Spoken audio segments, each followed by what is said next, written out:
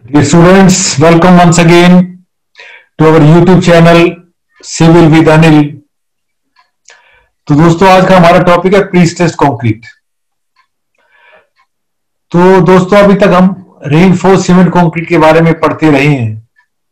तो आज हम पढ़ रहे हैं प्री टेस्ट कॉन्क्रीट तो प्री टेस्ट कॉन्क्रीट पढ़ने से पहले हमें रेनफोर्स सीमेंट कंक्रीट और प्री स्ट्रेस कंक्रीट के बीच में क्या डिफरेंस है, ये हमें पहले पढ़ना बहुत ज़रूरी है।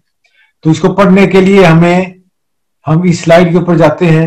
ये हमारी एक स्लाइड है, इस पर आप देख सकते हैं कि इसके अंदर हमने आपको दिखाया शुरू के अंदर एक बीम है हमारे पास सिंपली सपोर्टेड बीम है, जो कि अनस्ट्रेस्ड है। मतलब इसके ऊपर अभी तक हमने कोई भी सुपर इम्पोज लोड नहीं लगाया है। तो दोस्तों देखिए, जैसे ये जो बीम है हमारा, इसके अंदर हमने नॉर्मल रेनफोर्समेंट इसके अंदर प्रोवाइड की हुई है। तो इसके अंदर जैसे ही हम सुपर इम्पोज लोड इस पर लगाते हैं, जैसे इस पर लोड लगता है तो हमारा बीम इस शेप में डिफ्लेक्ट हो जाता है। तो इसके अंदर आप देख सकते हैं कि जो ऊपर वाले फाइबर्स है, हमारे इसमें कॉम्प्रेशन आई हुई है और जो नीचे वाले फाइबर्स हैं, इनमें टेंशन आई है। तो दोस्तों, जो ये इसके अंदर हमने नीचे रेनफोर्समेंट प्रोवाइड की है, क्योंकि ये सिंपली सपोर्टेड बीम है तो इसके अंदर हमारी टेंशन नीचे की तरफ़ आती है। तो इसके अंदर टेंशन जो स्टील में कंक्रीट के थ्रू ट्रांसफ़र होती है। तो कंक्रीट के थ्रू ट्रांसफ़र होने की वजह से क्या होता है इसके अंदर? जो हमारे जो नीचे वाले जो कंक्रीट के फाइबर्स हैं, इसके अंदर बहुत ही ज़्यादा माइन्यूटली इसके अंदर क्रैक्स भी इसके अंदर साथ साथ डेवलप हो जाते हैं। वो क्यों डेवलप हो जाते हैं? क्योंकि जो कंक्रीट है it is not as strong in tension as it is in compression तो उसकी वजह से इसके अंदर नीचे बहुत ही फाइन क्रैक्स भी इसके अंदर साथ साथ डेवलप हो सकते हैं, हो जाते हैं। तो दोस्तों, जो इस तरह के जो ये हमारे बीम्स होते हैं इसके अंदर, इस तरह के बीम्स को हम ज़्यादा लंबे स्पैन के लिए नहीं बना पाते हैं। क्योंकि इसकी वजह से यही है कि इसके अंदर जितना बड़ा हमारा बीम का स्पैन होता चला जाएगा मतलब लंबाई होती चली जाएगी बीम की, उतनी ही ज़्यादा इस बीम की डेप्थ बढ़ती चली जाएगी। और डेप्थ बढ़ती चली जाएगी, उसके अंदर उतना ही ज़्यादा हमें रेनफोर्समेंट इसके अंदर प्रोवाइड करना पड़ेगा। इसकी डेप्थ बढ़ती चली जाएगी, इसके अंदर डिफ्लेक्शन बढ़ती चली जाएगी बीम की। तो उस वजह से फिर ये जो हमारा ऑर्डनरी आरसीसी कंक्रीट है it is not suitable for the long span तो जो इस तरह की कमी थी तो उस कमी को दूर करने के लिए फिर एक नई टेक्निक इजाद की गई, जिसको हम बोलते हैं प्री स्ट्रेस कॉन्क्रीट पीएससी तो उस टेक्निक के अंदर हमने क्या किया? जिस पोर्शन के अंदर टेंशन आनी है, उस उस पोर्शन के अंदर, उस कंक्रीट के अंदर हम पहले से ही कुछ स्ट्रेस डेवलप कर देते हैं। तो इसी वजह से ही इसका नाम प्री स्ट्रेस कंक्रीट पड़ा। प्री स्ट्रेस का मतलब कि कंक्रीट के अंदर पहले से ही कुछ स्ट्रेस को डेवलप करना, कुछ स्ट्रेस को पैदा करना। तो इसी वजह से इसका नाम हमने प्री स्ट्रेस कंक्रीट कहा है। तो प्री स्ट्रेस इसके अंदर हम बहुत सारे तरीके हैं, उससे इसके अंदर हम पैदा कर सकते हैं। तो डियर फ्रेंड्स अभी फ़िलहाल हम उस टॉपिक के बारे में बात नहीं करेंगे कि भाई इसमें हमें स्ट्रेस कैसे पैदा करनी है। अभी फ़िलहाल हम बात कर रहे हैं कि हमने इसके अंदर किसी मैकेनिज्म से प्रॉपर मैकेनिज्म से इसके अंदर हमने स्ट्रेस पैदा कर दी। वो भी स्ट्रेस पैदा की अपोजिट नेचर की। अपोजिट नेचर का मतलब ये है कि जो नीचे वाले जो हमारे पोर्शन है कंक्रीट का या बीम का जिसके अंदर की टेंसाइल स्ट्रेस पैदा, टेंसाइल स्ट्रेस डेवलप होनी थी तो उसके अपोजिट हमने इसके अंदर कॉम्प्रेसिव स्ट्रेस पैदा कर दी। तो जो ये आपको दिखा रहे हैं, फिगर नंबर थ्री, फोर में दिखाया गया है कि इसके अंदर ये हमने एक किसी मीडियम से, किसी तरीके से इसके अंदर हमने नीचे वाले पोर्शन के अंदर कॉम्प्रेसिव स्ट्रेस पैदा कर दी। तो उस कॉम्प्रेसिव स्ट्रेस की वजह से जो बीम था हमारा, उस तरीके से इसके अंदर इसके अंदर डिफ्लेक्शन आ गई। तो इसके अंदर आप देख सकते हैं तो नीचे वाला पोर्शन है, हमारा इसमें कंप्रेशन है और जो ऊपर वाले फाइबर है, इसके अंदर टेंशन आ गई है। तो इसके अंदर ये डिफ्लेक्शन ऊपर की तरफ़ होगा इसको हम हॉगिंग मूवमेंट भी बोलते हैं। ये सैगिंग मूवमेंट है, ये हॉगिंग मूवमेंट है। तो इसके अंदर हमने लोड लगने से पहले ही इस बीम के अंदर एक अपोजिट नेचर की स्ट्रेस पैदा कर दी। तो जब ये बीम हमारा यूज़ में आएगा यूज़ में आने का मतलब है कि जब इसके ऊपर सुपर इम्पोज लोड लगेगा ये आप देख सकते हैं जो लोड इस पे लगा हुआ है। तो जो इसके अंदर जो डिफ्लेक्शन अपवर्ड की डायरेक्शन में है तो लोड लगने की वजह से इट विल बिकम नॉर्मल ये अपनी नॉर्मल शेप में आ जाएगा। मतलब ये है कि इसके अंदर there will be no deflection और इसके जो नीचे वाले जो फाइबर्स थे हमारे, जिसके अंदर की टेंशन पैदा होनी थी, अब इसके अंदर ultimately there is a little bit compression इसमें कॉम्प्रेसिव स्ट्रेस रह जाएगी। और अगर कॉम्प्रेसिव स्ट्रेस ना भी रहे तो हम ये कह सकते हैं कि there will be no stress जो उसके अंदर जो कंप्रेशन हमने पैदा की है it will neutralise the tensile stress which is coming through this superimpose load तो इस तरीके से हमने इसके अंदर जो टेंशन जोन था, हमने उसको बिल्कुल स्ट्रेस फ्री कर दिया। तो इस तरीके से जो इसके अंदर जो डिफ्लेक्शन आना था, वो डिफ्लेक्शन भी खत्म हो गया। तो इस तरीके का इस्तेमाल करते हुए हम बहुत बड़े बड़े स्पैन के ब्रिजेस बना सकते हैं। और इसके अंदर जो एक्सेसिव जितनी भी लोड मैक्सिमम से मैक्सिमम जो भी लोड आ सकता है जो इफ़ेक्ट था उसको खत्म कर दिया है। तो दोस्तों इस तरीके से हम इस पीएससी का इस्तेमाल करते हुए हम बड़े बड़े स्ट्रक्चर्स बड़े बड़े स्पैन के ब्रिजेस को हम बनाने में सफल रहे हैं। तो अब हम अपनी बेसिक पुरानी सबसे पहली स्लाइड पे आते हैं। तो उसके अंदर जैसे मैंने आपको बताया है कि what is a prestressed concrete तो प्रीस टेस्ट कॉन्क्रीट के अंदर पहले हम इस, इसको मतलब को समझ लेते हैं। प्रीस टेस्ट का मतलब क्या है? Pre stress means to introduce compressive stress जैसे मैंने आपको बताया कि इसके अंदर हम कॉम्प्रेसिव स्ट्रेस को इंट्रोड्यूस करते हैं beforehand in the zone where external load would normally cause tensile stresses उस जोन के अंदर जहाँ पर की जो हम लोड एक्सटर्नल लोड लगेगा, वो उस जोन के अंदर टेंसाइल स्ट्रेस पैदा करता है। वहाँ पर हमने कॉम्प्रेसिव स्ट्रेस पैदा कर दी। The concrete in which technology of pre stressing is introduced is called pre stress concrete उस स्ट्रेस उस कॉन्क्रीट को प्री स्ट्रेस कॉन्क्रीट कहा जाता है, जिसके अंदर की हमने पहले से ही कुछ स्ट्रेस को इंट्रोड्यूस कर दिया है। इसीलिए इस टेक्नोलॉजी को हम बोलते हैं pre stress pre stress concrete तो जो pre stress member a pre stress member is one तो जो मेंबर बनेगा, उस मेंबर को प्री स्ट्रेस मेंबर कहेंगे। A member is one in which internal stresses are induced in a planned manner मतलब जो कि इसके अंदर जो स्ट्रेस पैदा की जाएगी that will be in a very plan बहुत ही ज़्यादा प्लान होगी वो, क्योंकि उसके अंदर हमें ये बाद में देखना होता है कि कितनी स्ट्रेस इसमें बच गई है। और उसके अंदर और भी बहुत सारी चीज़ें जो कि हम आगे in the due course of time जैसे आगे हम पढ़ेंगे तो उसमें आपको ये बातें समझ में आएँगी कि प्लान मैनर का मतलब क्या है। So that the stress is resulting from the superimpose load are counteractive to the desired level ताकि उसको हम एक डिजायर्ड लेवल तक काउंटर एक्ट कर सके। तो दोस्तों, मुझे उम्मीद है कि आपको इसका प्री स्ट्रेस कॉन्क्रीट का मतलब समझ में आया होगा। प्री स्ट्रेस का मतलब जिसके अंदर की हमने कंक्रीट के अंदर स्ट्रेस जो है पहले से ही इसके अंदर हमने पैदा कर दी हो। किस किस लिए? ताकि जब बाद में जब इस पर लोड लगे तो जो इसके अंदर जो स्ट्रेसिस पैदा हो, उसको हम काउंटर एक्ट कर सके। तो इसको समझाने के लिए जैसे हमने एक और स्लाइड दिखाई है जैसे कि जैसे ये हमारी एक ऑर्डनरी कॉन्क्रीट है रेनफोर्स सीमेंट कॉन्क्रीट है, ये हमारा एक अनलोडेड बीम है।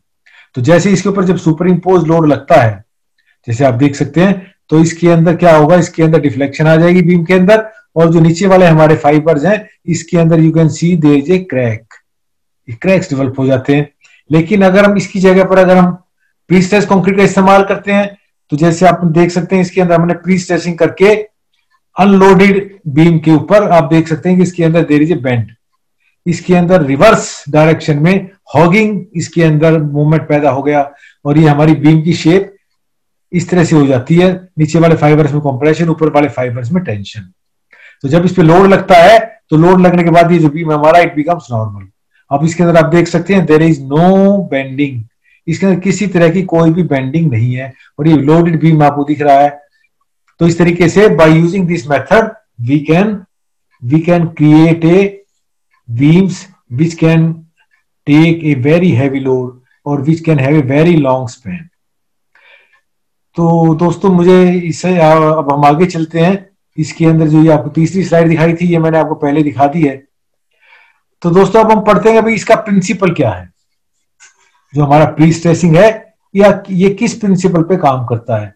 तो जैसे आपको दिखाया गया कि ये बीम है इसके अंदर, ये बीम आपको दिखाया बीम का क्रॉस सेक्शन है। इसके अंदर हमने यहाँ पर इस कॉन्क्रीट के अंदर हमने एक रेनफोर्समेंट प्रोवाइड किया टेंसाइल रेनफोर्समेंट हमने डाल दिया स्टील डाल दिया इसके अंदर, जिसको कि हम टेंशन इसके अंदर क्रिएट करके, हम इस फाइबर के अंदर जो ये हमारा क्रॉस सेक्शन आप देख सकते हैं, इसके अंदर हमने कॉम्प्रेशन पैदा कर दिया।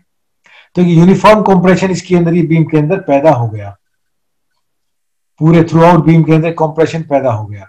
तो अब इसके बाद जब इसके ऊपर जब लोड लगता है, आप देख सकते हैं लोड लगने की वजह से इसके अंदर जब सुपर इम्पोज लोड लगेगा तो सुपर इम्पोज लोड लगने की वजह से आप देख सकते हैं कि जो ऊपर वाले फाइबर जिसके अंदर कॉम्प्रेशन आती है और नीचे वाले फाइबर्स में टेंशन आती है। तो ये सुपर इम्पोज लोड आपको दिखाया गया है। तो उसकी वजह से क्या होता है अल्टीमेटली जो नीचे वाले जो ये हमारे फाइबर्स हैं न्यूट्रल एक्सिस नीचे जैसे आप देख सकते हैं कि इसके अंदर जो टेंशन थी, इस कॉम्प्रेशन की वजह से ये हमने, टेंशन हमारी बिल्कुल खत्म हो जाती है। इट में बी लिटिल बिट अगर थोड़ी बहुत अगर रह भी जाती है तो इतनी हमारी कंक्रीट उसको बियर कर सकती है। अदरवाइज़ हमारी हमारी कोशिश ये रहती है कि जो डिज़ाइन हमारा इस तरह का होता है कि इसके अंदर there should be no tension इसमें नीचे भी अगर कॉम्प्रेशन रह जाए तो कोई दिक्कत नहीं है। तो आप देख सकते हैं कि ऊपर कॉम्प्रेशन है और नीचे ये हमारे पास जाते जाते यहाँ पर ये टेंशन जो है हमारी ज़ीरो हो गई है। वेरी लिटल और नो टेंशन तो इसी प्रिंसिपल पे हम काम करते हैं ताकि जो हमारा सेक्शन है it should be tension free बिल्कुल इसके अंदर कोई भी टेंशन ना हो। ये हमारा इसका प्रिंसिपल है। तो अब हम दोस्तों जैसे पढ़ सकते हैं कि भाई इसके क्या एडवांटेजेस हैं? प्री स्ट्रेसिंग के तो प्री स्ट्रेसिंग कंक्रीट जैसे आपको बताया कि इसके अंदर पूरे के पूरे सेक्शन को हम यूटिलाइज कर रहे हैं। जैसे आप देख सकते हैं कि इसके अंदर जो ये हमारा सेक्शन था, हमने जो नीचे वाला पोर्शन जो कंक्रीट का मानते थे न्यूट्रल एक्सिस से नीचे, हम ये मान के चलते थे कि इसके अंदर जो कंक्रीट है it is of no use ये सिर्फ़ और सिर्फ़ कंक्रीट को स्टील को होल्ड करने के लिए क्योंकि जितनी भी इसके अंदर जो टेंशन आएगी, वो सभी की सभी स्टील लेगा। तो हमने जो टेंसाइल स्ट्रेंथ ऑफ़ कंक्रीट था, उसको नेग्लेक्ट कर दिया था इग्नोर कर दिया था। लेकिन जब हम प्री स्ट्रेसिंग इस्तेमाल करते हैं तो हम इस सेक्शन का भी इस्तेमाल कर रहे हैं। इसके अंदर हम कंप्रेसिव स्ट्रेस को इंट्रोड्यूस कर रहे हैं। तो इसका मतलब यह कि ये जो हमारा जो नीचे वाला पोर्शन था बीम का, ये भी अपना इसके अंदर काम कर रहा है, ये भी लोड ले रहा है। तो इस तरीके से ये जो हमारा बीम है, ये पूरे के पूरे बीम का सेक्शन इस्तेमाल हो रहा है। तो इसकी वजह से फिर इसके अंदर जो क्वांटिटी होती है कंक्रीट की, वो कम हो जाती है। तो देख सकते हैं, लेकिन RCC only thirty to forty percent concrete actively resist bending this material is wasted जो मेटेरियल हमारा वेस्ट हो जा रहा हो रहा था, वो इसके अंदर, हम इसके अंदर पूरी तरह से इस्तेमाल कर रहे हैं। तो use of high grade material increase durability and less cracks are developed हम हाई ड्यूरेबिलिटी का कंक्रीट इस्तेमाल करते हैं। Members like prestress poles sleepers can be recast rather than cast in situ मतलब इसको फैक्ट्री में हम तैयार कर सकते हैं। जैसे हम पोल्स का बिजली के पोल्स में इस्तेमाल करते हैं रेलवे के अंदर स्लीपर्स में इस्तेमाल करते हैं तो ये सारे के सारे जो प्रोडक्ट्स हैं हमारे, इनको हम फैक्ट्रीज में तैयार कर सकते हैं। और इनको हमें, वहाँ पर साइट पे कास्ट करने की बजाय हम इसको फैक्ट्री में भी प्रोड्यूस कर सकते हैं। और इसके अंदर सबसे बड़ा फ़ायदा यह है कि जो मेंबर्स जो है हमारे, जो तैयार हो रहे हैं, इनको हम टेस्टिंग भी कर सकते हैं यूज़ करने से पहले। आरसीसी में तो क्या होता था कि वो उसके ऊपर जब लोड जब लगता था, जब भी हमें पता लगता था कि भाई ये हमारा मेंबर कैसे बिहेव करेगा। लेकिन इसके अंदर हम इसको पहले से ही टेस्ट कर सकते हैं। और इसके अलावा हम multiple members can be cast in the same time reducing labour and manufacturing cost क्योंकि इसके अंदर मल्टीपल मेंबर जो है फैक्ट्रीज के अंदर बार बार उसके अंदर बहुत ज़्यादा मेंबर्स एट ए टाइम हम कास्ट कर सकते हैं। तो इस तरीके से जो हमारा जो पीस कॉन्क्रीट है इट इज़ वेरी यूजफुल और इसको हम आज के दिन बहुत ज़्यादा इस्तेमाल कर रहे हैं। लेकिन इसके अलावा इसके कुछ डिसएडवांटेजेस भी हैं। तो डिसएडवांटेज तो ये क्योंकि ये जो प्रीस्टेस कंक्रीट है, इसको आम जो हमारी लेबर है, वो तैयार नहीं कर सकती। इसके लिए हमें बहुत ही ज़्यादा स्किल्ड लेबर चाहिए। क्योंकि इसके अंदर हमें पहले से ही स्ट्रेस को इंट्रोड्यूस करना होता है उसके अंदर।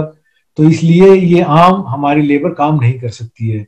और इसलिए इसके अंदर हमें बहुत ज़्यादा कॉस्टली इक्विपमेंट भी चाहिए। एक्सपीरियंस इंजीनियर चाहिए। कॉम्प्लिकेटेड इसके अंदर फॉर्म वर्क रहता है, जो शटरिंग वगैरह रहती है, वो भी इसके अंदर काफ़ी कॉम्प्लिकेटेड होती है और इसके अंदर हमें हाई स्ट्रेंथ की कंक्रीट मतलब minimum M thirty M forty M fifty तक की कंक्रीट का इस्तेमाल इस्तेमाल करते हैं। जबकि ऑर्डनरी आरसीसी के अंदर हम M twenty M twenty five तक इस्तेमाल करते हैं। लेकिन इसके अंदर मिनिमम जो ग्रेड ऑफ़ कंक्रीट रहता है दैट इज़ एम थर्टी तो इसलिए इसमें हाई कंक्रीट स्टील चाहिए। और जो ये हमारी जो प्री स्ट्रेस कंक्रीट है it is less fire resistant is not fibre it is less fire resistant इसकी जो रेसिस्टेंस है फायर के अगेंस्ट भी वो कम रहती है। तो इसलिए ये भी इसका एक डिसएडवांटेज है। ये फाइबर नहीं है इट इज़ फायर है। It is less fire resistant तो दोस्तों, अब हम बात करते हैं कि जो मेथड्स ऑफ़ प्री स्ट्रेसिंग है, जो हमारी प्री स्ट्रेसिंग है, इसके हम कौन कौन से मेथड्स इसके अंदर हम इस्तेमाल करते हैं? तो प्री स्ट्रेसिंग का मतलब तो वही है कि आप लोड जो हमारा जो मेंबर तैयार हो रहा है, उसके अंदर लोड लगने से पहले उसके अंदर स्ट्रेसिंग उसके अंदर प्रोड्यूस करना। लेकिन उसके भी हमारे पास दो तरीके हैं। एक कहलाती है हमारी pre tensioning pre stress concrete और दूसरी कहलाती है post tensioning pre stress concrete है, वो दोनों ही प्री स्ट्रेस्ड लेकिन इसके अंदर एक डिफरेंस हमने इसके अंदर है।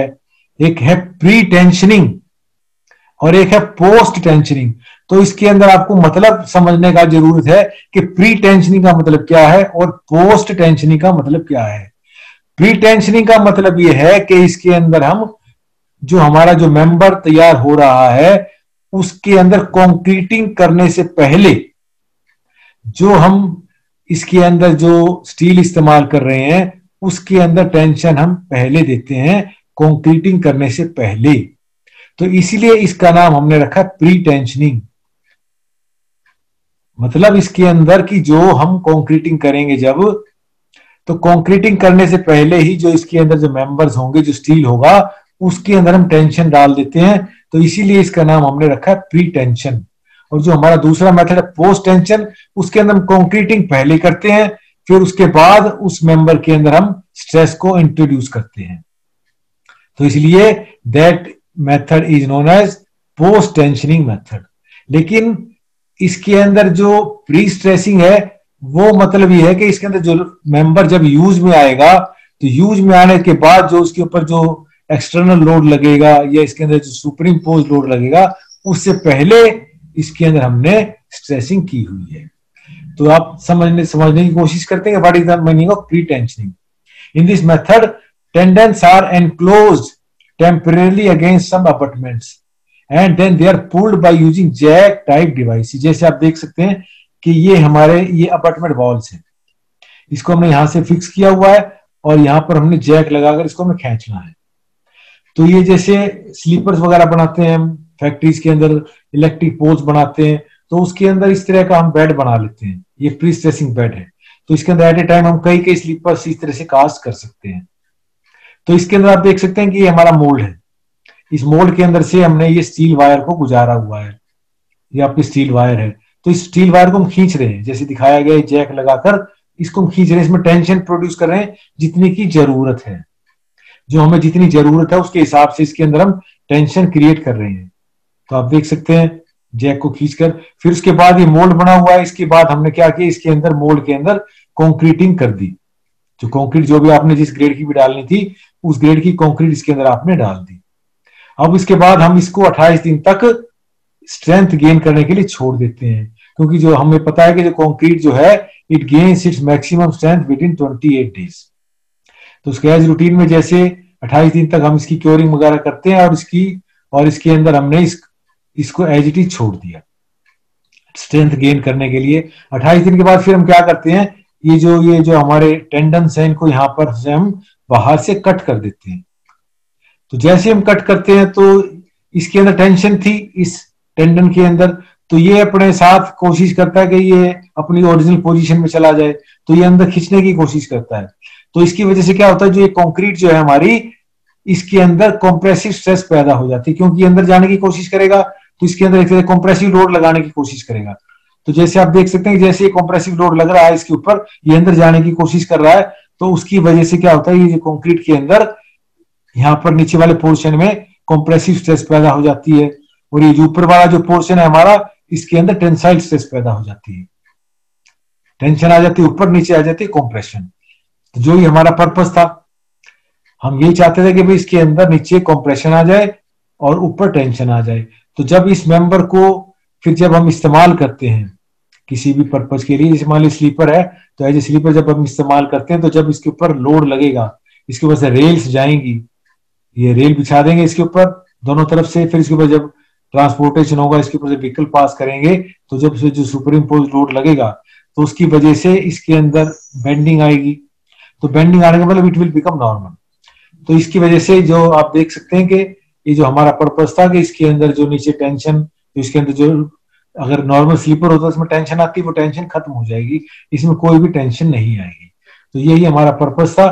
तो इस तरीके से हमने प्री टेंशन करके प्री टेंशन का मतलब इसके अंदर हम टें, हमने टेंशनिंग दी है कंक्रीट डालने से पहले। तो इस तरीके से हम इस मेथड का इस्तेमाल करते हैं प्री टेंशनिंग का। तो ये छोटे मेंबर्स के लिए इस तरीके को हम इस्तेमाल करते हैं। जैसे कि मान लिया आपको ये रेलवे स्लीपर्स बनाने हों, या इलेक्ट्रिक पोल्स बनाने हों, या मान लिया आपको पाइप्स बनाने हों तो उस तरह से जैसे सर्कुलर पाइप हम बनाते हैं तो सर्कुलर पाइप के अंदर भी इस तरीके के मेथड को हम इस्तेमाल कर सकते हैं। तो कहने का मतलब ये है कि जो छोटे हमारे स्ट्रक्चर्स होते हैं, छोटे मेंबर्स होते हैं हमारे उनको, उनके अंदर हम इस प्री टेंशनिंग मेथड का इस्तेमाल करते हैं। अब हमारा दूसरा मेथड है पोस्ट टेंशनिंग मेथड तो पोस्ट टेंशनिंग का मतलब जैसे मैंने आपको बताया कि इसके अंदर कॉन्क्रीटिंग पहले करते हैं और फिर उसके बाद इसके अंदर हम टेंशन प्रोवाइड करते हैं मेंबर्स के अंदर। तो जैसे आप देख सकते हैं, हमारा कास्टिंग बेड है। इस कास्टिंग बेड के अंदर हमने बीच में एक डक्ट छोड़ दिया। हमने कंक्रीट को कास्ट कर लिया। जो हमारा कंक्रीटिंग का था प्रोसेस था, उस तरीके से हमने इसके अंदर जो हमारी, क्या नाम है, इसके अंदर फॉर्म वर्क करके जो भी हमारा था, उसके अंदर हमने कंक्रीटिंग कर दी। और कंक्रीटिंग के साथ साथ हमने क्या किया, इसके अंदर एक बीच में डक्ट डाल दिया डक्ट जैसे आप देख सकते हैं होल इसके अंदर छोड़ दिया, एक पाइप का। और फिर उसके बाद डक्ट छोड़ने के बाद फिर हमने क्या किया, इसके अंदर जो भी हमारी टेंशनिंग करने के लिए जो इसके अंदर आपने केबल डालनी थी स्टैंड डालने थे वायर डालनी थी, इसके अंदर जैक लगाकर और इसके अंदर हमने पीरिंग प्लेट लगा दी साइड में इसके, और इसको जैक लगाकर इसको हमने इसके अंदर टेंशन प्रोड्यूस की। तो जैसे हम इसके अंदर टेंशन प्रोड्यूस करते हैं तो क्या होता है इस मेंबर के अंदर, ये जो भी हमारा इस, ये जो बीरिंग प्लेट्स है, इसकी वजह से इस मेंबर के अंदर कंप्रेशन इंट्रोड्यूस हो जाती है। और बाद में ये जो डक्ट्स है हमारा, इसको हम ग्राउट से भर देते हैं। तो ये जो मेथड है हमारा this method is called post tensioning method तो पोस्ट टेंशनिंग का मतलब पहले हमने इसमें कॉन्क्रीटिंग की और फिर उसके बाद इसके अंदर हमने टेंशन पैदा की। तो इसीलिए इसका नाम हमारा है पोस्ट टेंशनिंग मेथड तो ये जो इस तरह का जो पोस्ट टेंशनिंग मेथड है, इसको हम आमतौर पर बड़े बड़े स्ट्रक्चर्स वगैरह बनाने के अंदर इस मेथड का हम इस्तेमाल करते हैं। जैसे ब्रिजेस बनाते हैं बीम्स बना, बनाते हैं बड़े बड़े स्पैन के तो उसके अंदर इस मेथड का हम इस्तेमाल करते हैं। जैसे आपने दिल्ली में देखा होगा मेट्रोज बनी हुई हैं, उसके अंदर बहुत बड़े बड़े हमने बीम्स का इस्तेमाल किया है, जैसे मान लिया ब्रिज बन रहे हैं हमारे तो उनके अंदर भी इस मेथड का हम इस्तेमाल कर रहे हैं। तो तो अब हम एडवांटेज और डिसएडवांटेजेस की बात करते हैं कि जो हमारा प्री टेंशनिंग मेथड इसके क्या एडवांटेज है? तो ये जो प्री प्री टेंशनिंग मेथड है it is advantage for the factory production मतलब फैक्ट्री के अंदर इसका हम इस्तेमाल करते हैं। क्योंकि ये छोटे मेथड मेंबर्स होते हैं, इनको फैक्ट्री में भी हम प्रोड्यूस कर सकते हैं। और several members can be casted at a one time on the same casting bed तो बहुत सारे मेथड मेंबर्स को हम साथ साथ कास्ट कर सकते हैं। लेकिन इसके डिसएडवांटेजेस भी हैं। तो डिसएडवांटेज क्या है कि इसके अंदर जो अबटमेंट्स जो होना चाहिए it should be very strong क्योंकि इस तरह का जो मेथड जो होता है, ये हम फैक्ट्री में ही इनको बना सकते हैं। क्योंकि वहाँ पर इस तरह का डेवलप कर सकते हैं। साइट पर बनाना बड़ा मुश्किल रहता है। और इसके अंदर जो है size the member is restricted as heavier and cylinder members are difficult to transport क्योंकि इस तरह जो जितने अगर जो मेंबर्स बनेंगे हमारे, उनको हम साइट पर ट्रांसपोर्ट ट्रांसपोर्ट नहीं कर पाते हैं, क्योंकि जितना ज़्यादा भारी स्ट्रक्चर हो जाएगा और सिलेंडर मेंबर्स होंगे तो उनको ट्रांसपोर्ट करना मुश्किल रहेगा। और इसके अलावा जो loss of pre stress is more pre stress का लॉस ये भी हम आगे डिस्कस करेंगे, लेकिन हम अभी प्री स्ट्रेस का लॉस का मतलब है कि जो आपने इसमें स्ट्रेसिंग पैदा की थी, वो धीरे धीरे कम हो जाती है। तो वो जो प्री टेंशन मेंबर है, उसमें उसका लॉस ज़्यादा ज़्यादा होता है in comparison to the post tensioning method तो इसलिए ये भी इसका एक डिसएडवांटेज है। अब हमारी, हम बात करते हैं advantage of post tensioning method तो इसके अंदर इस मेथड को हम cast in situ as well as method can be constructed with this method cast in situ and pre cast members तो साइट पे भी और फैक्ट्री दोनों में इस काम मेथड का इस्तेमाल कर सकते हैं। और इसके अंदर लॉस ऑफ़ प्री स्ट्रेस है, वो कम रहता है। And there is no limit of casting as the method can be applied at site also तो साइट पे भी इसको हम इस्तेमाल कर सकते हैं तो इसलिए इसके अंदर देर इज़ नो लिमिट लेकिन इसके अंदर डिसएडवांटेज क्या है? कि इसके अंदर हमें एडिट कॉस्ट हो जाती है कि उसमें ग्राउटिंग करनी पड़ती है। शीट इसके अंदर जो मैंने डक्ट के बारे में बताया था, आपको सब छोड़ना पड़ता है। और इसके अंदर कॉम्प्लिकेशंस भी हो जाती है, क्योंकि जो डक्ट्स के अंदर जो हमारे मेंबर्स जो होते हैं स्टील के जो मेंबर्स होते हैं, उनके अंदर उनको एंकर करना भी और इनको पकड़ के रखना, उनमें फ्रिक्शन की भी प्रॉब्लम आ जाती है। तो इस तरीके से ये इसके डिसएडवांटेज है। लेकिन ये डिसएडवांटेज जो है, इनको हम खत्म कर सकते हैं बाई प्रॉपर ऑयलिंग वगैरह जो हम, जो वायर्स जो होती हैं, उसके अंदर अगर हम, उनकी अगर प्रॉपर ऑयलिंग वगैरह करें या जैक्स वगैरह प्रॉपर बढ़िया इस्तेमाल करें तो ये जो हमारी डिसएडवांटेज है, ये कम हो जाती है। तो इसलिए आमतौर पर जो बड़े स्ट्रक्चर्स हैं, उनको पोस्ट टेंशनिंग में और जो छोटे हमारे जो मेंबर्स रहते हैं, उनको हम प्री टेंशनिंग में बनाते हैं। तो दोस्तों, जैसे मैंने आपको बताया था कि जो मेटेरियल यूज़ होता है, इसके अंदर that is a very high quality तो इसके अंदर जैसे बताया गया है कि जो कंक्रीट जो है minimum M forty for pre tension system and M thirty for the post tension system जो अगर प्री टेंशन मेंबर है हमारे, उसमें मिनिमम एम फोर्टी ग्रेड होना चाहिए और पोस्ट टेंशनिंग के लिए एम थर्टी ग्रेड कॉन्क्रीट का हम इस्तेमाल करते हैं। The concrete use in PSC should be well compacted high strength concrete is use in PSC for the following reason use of high strength concrete gets in smaller section छोटे section बना सकते हैं। Higher strength concrete offers high resistance in tension shear bond and bearing. Loss of pre-stress occurs. Loss less loss of prestress मतलब prestress का जो loss है, अगर high strength concrete होगी तो वो कम रहेगा। तो इस वजह से हम हाई स्ट्रेंथ कंक्रीट का इस्तेमाल करते हैं। इसी तरह से जो स्टील है स्टील भी इसके अंदर वेरी हाई स्ट्रेंथ इसके अंदर हम इस्तेमाल करते हैं, क्योंकि इसके अंदर जैसे मैंने आपको बताया है कि जो इसमें हमें पहले टेंशन प्रोड्यूस करनी होती है तो जो अगर हम नॉर्मल अगर सील इस्तेमाल करते हैं, जैसे आपको पता है कि F P four one five F P five hundred तो उसके अंदर five hundred newton per M M square का ही स्ट्रेंथ वो उसमें ज़्यादा से ज़्यादा टेंसाइल उसके अंदर स्ट्रेंथ रहती है टेंसाइल स्ट्रेस आ सकती है। लेकिन हमें तो बहुत ज़्यादा स्ट्रेंथ चाहिए। तो इसीलिए फिर उसके अंदर हम हाई टेंडेंस का इस्तेमाल करते हैं।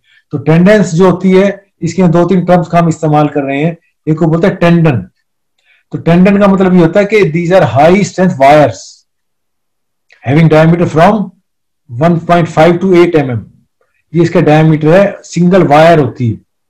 तो आप देख सकते हैं कि इसके अंदर जैसे मान लीजिए डेढ़ एम वायर है तो इसकी टेंसाइल स्ट्रेंथ जो है it can be up to two three five zero newton per M M square कितनी स्ट्रेंथ है? तेईस सौ पचास newton per M M square two M M wire twenty two hundred बाईस सौ newton per M M square three M M four M M, eight up to eight M M तक हम इस्तेमाल करते हैं। तो जो सिंगल वायर होती है it is called tendon tendon अब उसके बाद दूसरा इसके अंदर हम जो इस्तेमाल करते हैं दैट इज़ वायर स्ट्रैंड और केबल्स वायर स्ट्रैंड का मतलब यह है कि bundle of wire spun together मतलब जैसे आपने बिजली की तार देखी हुई, जैसे क्योंकि आपस में उनको हम मरोड़ी दे मतलब उसको लपेट देते हैं।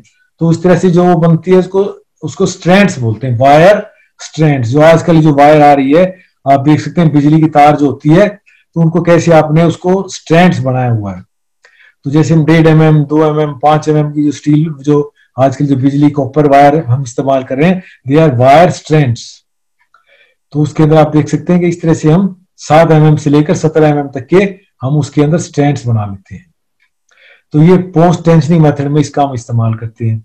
इसी तरह से तीसरी इसके अंदर टाइप होती है बार्स तो 10 एम mm से ज़्यादा के जो डायमीटर जो बार हम हाई टेंसाइल बार्स का भी कई जगह पर हम इस्तेमाल करते हैं। तो दे आर कॉल्ड बार्स तो जो स्टील जो होती है इसके अंदर प्री जो हमारी प्री स्टेस कॉन्क्रीट है, उसमें तीन टाइप के इस्तेमाल करते हैं tendons wire strand and bars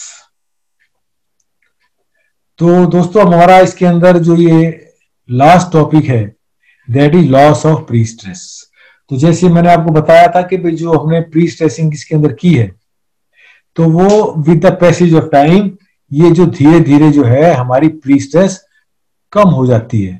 तो हमें इतनी उसके अंदर प्लैंड वे में उसको प्री स्ट्रेसिंग करनी होती है, ताकि ये जो स्ट्रक्चर है हमारा, उसके अंदर with the passage of the time उसके अंदर जो प्री स्ट्रेस अगर कम भी हो तो इतनी उसके अंदर मिनिमम रह जाए कि हमारा स्ट्रक्चर सेफली हम उसको इस्तेमाल कर सकें। Stressing force apply to the members does not remain constant but decreases with the passage of time the amount of pre stressing force which get reduce with the passage of time is known as a loss of pre stress तो हम loss of prestress बोलते हैं and it varies 50 to 20 percent of the initial pre stressing मतलब 15 से 20 percent तक जो हमने initial pre stressing की है, उससे उसकी वैल्यू कम हो जाती है। तो विद प्रेशर धीरे धीरे तो इसका मतलब है कि हमें उसके अंदर इतनी प्री स्ट्रेसिंग करनी चाहिए ताकि ये लॉस भी हो जाए तो भी हमारा स्ट्रक्चर सेफ़ रहे। तो इसीलिए हम इसको पढ़ रहे हैं। तो हम अब पढ़ते हैं इसके अंदर जो प्री स्ट्रेसिंग जो है, वो किस किस कारण से उसके अंदर लॉस होता है। तो ये जो अलग अलग मेथड्स अलग अलग इसके अंदर जो टेक्निक जो हम इस्तेमाल करते हैं प्री टेंशनिंग पोस्ट टेंशनिंग तो वो सब उनमें अलग अलग रहती है। तो जैसे लिखा loss of prestress during tensioning process due to the friction तो जब हम टेंशनिंग इसके अंदर डाल रहे हैं तो उसकी वजह से जब टेंशन करते हैं तो उसके अंदर भी जो जो टेंशन जो ये टेंडन जो होते हैं हमारे तो उसके अंदर, आपस के अंदर फ्रिक्शन हो जाता है। तो इसको हम कम कर सकते हैं फ्रिक्शन को। तो उससे ये जो हमारा लॉस होगा, वो कम रहेगा। तो ये पोस्ट टेंशनिंग मेथड होता है उसके अंदर ही इस तरह का ये जो लॉस होता है हमारा loss of prestress due to the friction तो इस तरह का जो लॉस होता है हमारा, ये पोस्ट टेंशनिंग मेथड में ही होता है।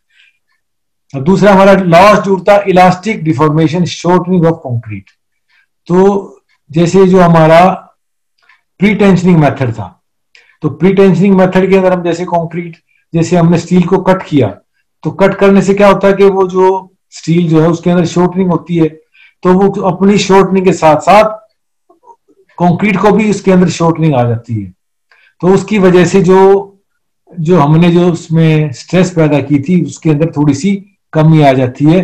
तो इस वजह से हमारी जो प्री स्ट्रेस है, उसके अंदर कुछ नुकसान हो जाता है। तो इस तरह के जो लॉस ऑफ़ प्री स्ट्रेस को बोलते हैं loss due to the elastic deformation of concrete तो ये जो ये जो हमारा इलास्टिक डिफॉर्मेशन वाला जो है, ये शॉर्टनिंग ऑफ़ कंक्रीट है this happens in the pre tensioning method तो तीसरा हमारा लॉस है loss due to the shrinkage of concrete तो with the passage of the time जैसे आपको पता है कि धीरे धीरे जो, जब कंक्रीट हमारी ड्राई होती है, सूखती है तो उसके अंदर भी कंक्रीट के अंदर श्रिंकेज आती है। तो श्रिंकेज की वजह से भी हमारी जो प्री स्ट्रेस है, उसके अंदर भी कुछ उसके अंदर लॉस हो जाता है, कुछ कम हो जाती है। तो इसको भी हम, क्योंकि हाई स्ट्रेंथ कॉन्क्रीट इस्तेमाल करते हैं तो इस वजह से उसमें श्रिंकेज कम रहती है। तो इसकी वजह से भी प्री स्ट्रेस में कुछ लॉस रहता है। Fourth one is loss due to the relaxation of steel तो जैसे जैसे with the passage of time तो जो कंक्रीट जो आपने स्टील इस्तेमाल किया है, उसके अंदर भी देर इज़ ए रिलैक्सेशन वो रिलैक्स होता चला जाता है, जो स्टील है हमारा। मतलब उसके अंदर जो आपने टेंशन पैदा की थी तो वो धीरे धीरे with the passage of time वो भी थोड़ी सी रिलैक्स हो जाती है। तो उसका भी हमें ध्यान रखना होता है कि भाई इसकी वजह से हमारा कितना लॉस हो रहा है। तो loss due to the creep of the steel तो तो जो ये हमारा जो कंक्रीट है concrete loss due the creep of concrete जो कंक्रीट के अंदर क्रीपिंग होती है with the passage of the time धीरे धीरे कंक्रीट जो शॉर्टन हो जाती है कंक्रीट तो वो उसको क्रीप ऑफ़ कंक्रीट बोलते हैं। तो उसकी वजह से भी देर इज़ ए लॉस हमारा जो प्रीस्टेस है, उसके अंदर उस, कुछ लॉस हो जाता है उसका।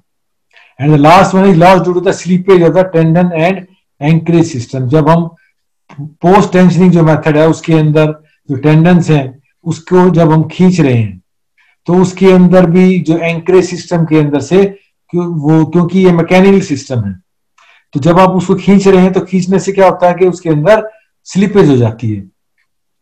तो स्लिपेज का मतलब उसके अंदर वो, उतनी उसके अंदर पकड़ ग्रिप नहीं रहती है तो उसकी वजह से भी जो टेंडेंस है हमारे, वो स्लिप हो जाते हैं तो उसकी वजह से भी कुछ जो है हमारी प्री स्ट्रेस का लॉस हो जाता है। तो ये जो छठा वाला ये हमारा लॉस है this happens generally in the post tensioning method तो दोस्तों, हम इन जो जितने भी ये प्रीसेस आपको ये लॉस बताए गए हैं, इन सभी का हम उसके अंदर ध्यान रखते हैं कि भाई कितना हमारा इनके, इनकी वजह से लॉस हो सकता है।